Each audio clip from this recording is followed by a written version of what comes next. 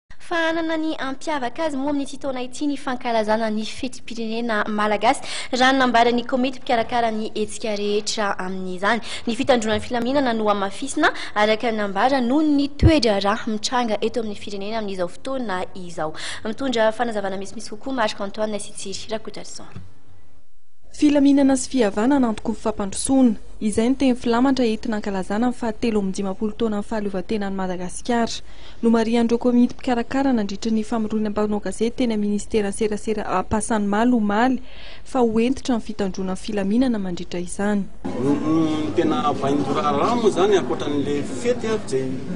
fifaliana dia ilay fitandroana ny filaminana indrindra indrindra satria fantatsika ny toe-draharaha misy eto amin'ny firenentsika amin'izao fotoana izao. Io izany ny mpitandro ny filaminana dia voalaza teo fa isaky ny site rehetra rehetra, site d'activité,